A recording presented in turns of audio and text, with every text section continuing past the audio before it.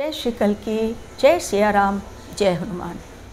भारतवर्ष के लिए 4 जून 2024 एक ऐतिहासिक दिन साबित होने वाला है।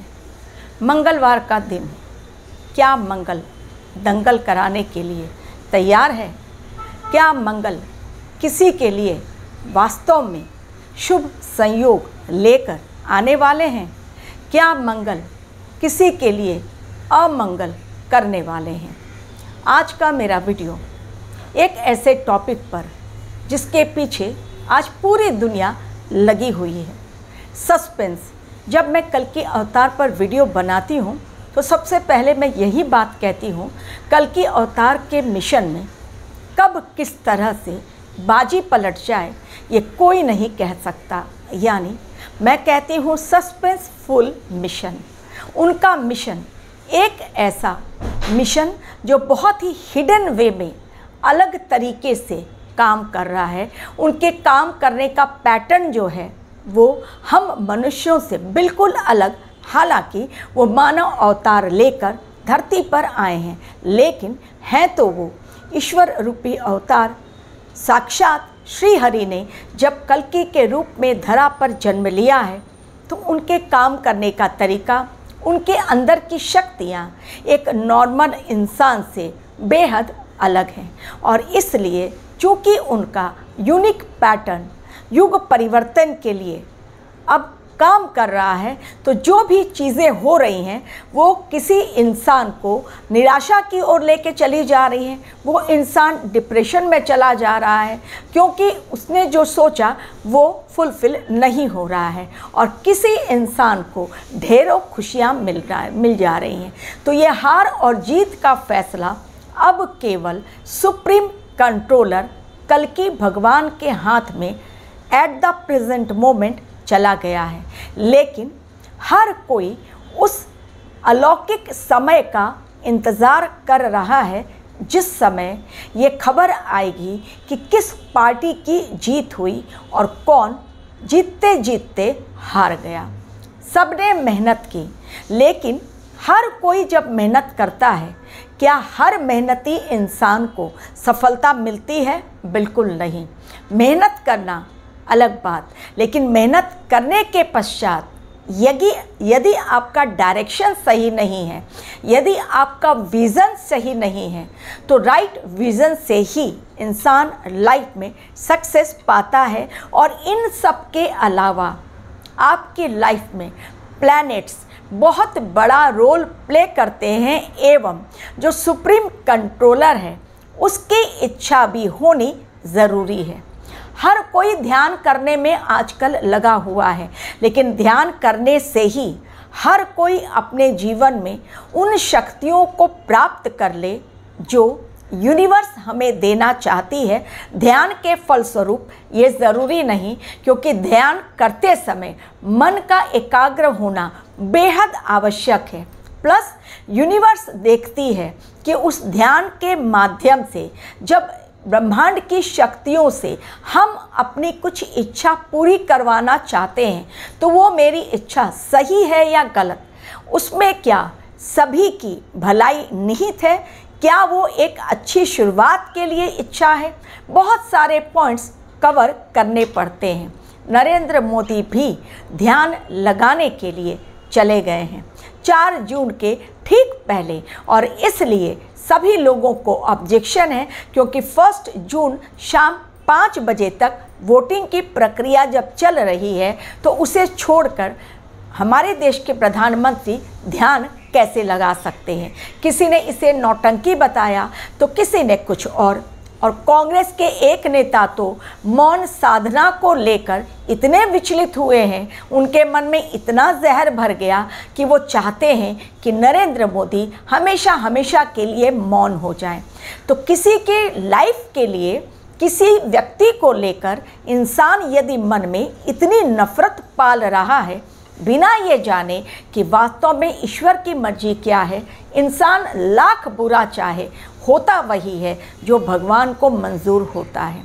अब चार जून को आज शाम पाँच बजे से हर मीडिया चैनल, हर मीडिया, सोशल मीडिया हो या फिर इलेक्ट्रॉनिक मीडिया, लेकिन हर कोई एग्जिट पोल की बात करेगा। और ठीक उसके पहले मैं अपने एनालिसिस के तौर पर आप लोगों को बतला रही हूँ कि वास्तव में चार जून का मंगल किसके लिए शुभ समाचार लेकर आने वाला है और किसके लिए अशुभ? यानी कौन जीतते जीतते हार जाएगा और जिसकी कामना हार की आज हो रही है, वो आखिर में जीत जाएगा। किसी भी पार्टी को मैं फेवर नहीं दे रही हूँ। बिल्कुल बायस्ड होकर मैं अपना वीडियो नहीं बना रही हूँ। बल्कि मैं अपने वीडियो के माध्यम से भले लाइक्स ना मिले और भले व्यूज़ ज़्यादा ना मिले, लेकिन जो सही है उसी पर मैं अपना वीडियो देती हूँ। आजकल सोशल मीडिया का अलग चलन है। जिस टॉपिक को लोग देखते हैं कि ज़्यादा से ज़्यादा व्यू मिलते हैं, उसी टॉपिक को लोग कवर करने की कोशिश करते हैं, भले वो सत्य से दूर है। चलिए अब मैं आती हूँ अपने असली पॉइंट पर। चार जून, यानी मंगलवार का दिन।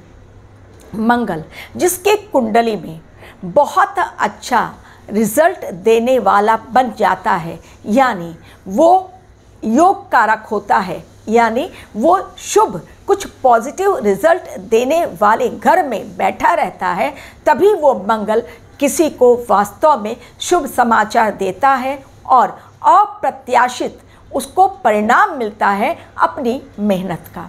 आज मेहनत हर पार्टी कर रही है और हर किसी की यही तमन्ना है कि उन्हीं की पार्टी जीते, क्योंकि सभी ने लोकसभा में अपनी पूरी एनर्जी लगा दी है। बड़े बड़े जनता से वादे कर लिए, लेकिन जनता के मन में क्या है? अब ये ईवीएम के जादुई पिटारे में छिप गया है और वो जब खुलेगा जादुई पिटारा चार जून को सबकी निगाहें रहेंगी टीवी स्क्रीन पर और मोबाइल स्क्रीन पर कि क्या होने वाला है रिज़ल्ट। सभी ने अपने अपने आंकड़े बताए और सभी ने अपना अपना नाम कोई कांग्रेस पार्टी को जिता रहा है तो कोई एनडीए को जिताना चाहता है। कोई ममता बनर्जी को उनके स्टेट से लेवल पे जिताना चाहता है।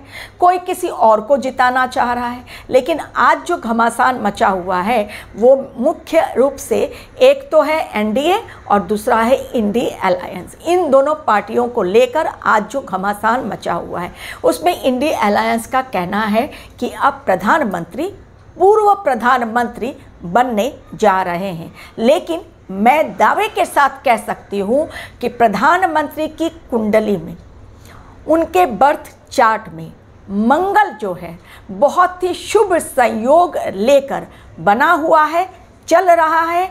उसकी ऐसी दशा है जिसमें अब नरेंद्र मोदी भले ही बहुत सारे चैलेंजेस को फेस करेंगे, लेकिन हैट्रिक लगाने के लिए पूरी तरह चार जून 2024 का शुभ संयोग उनके जीवन में दस्तक देगा।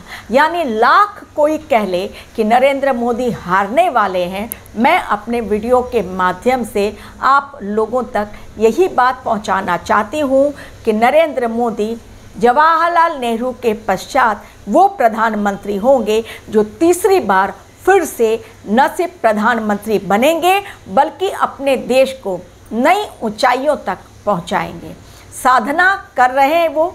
साधना से समस्याओं का किस प्रकार समाधान मिलेगा, ये मैं नेक्स्ट वीडियो में बतलाऊँगी। आज के वीडियो में मैंने सिर्फ़ इस टॉपिक को कवर किया है। अब ये चार जून का दिन आप लोगों को बतलाएगा कि वास्तव में एनडीए की जीत हो रही है या इंडी अलायंस जीत रहा है, क्योंकि एग्ज़िट पोल को कांग्रेस जो है, वो उसमें शामिल नहीं होना चाहती। चर्चा में एग्जिट पोल के बॉयकॉट उन्होंने कर दिया है। लेकिन एनडीए न सिर्फ़ प्रचुर बहुमत से जीत रही है, बल्कि वो आंकड़ा जो सरकार बनाने के लिए ज़रूरी है, उसको तो क्रॉस करेगी ही। लेकिन 400 पार जो नरेंद्र मोदी का जुमला है, पूरे टाइम उन्होंने कहा, अब 400 पार पहुँच रही है या नहीं, या क्रॉस कर रही है 400 पार, ये तो मैं अभी नहीं कहूँगी। लेकिन नरेंद्र मोदी की कुंडली में मंगल उन्हें बहुत ही शुभ समाचार 4 जून को देने वाला है।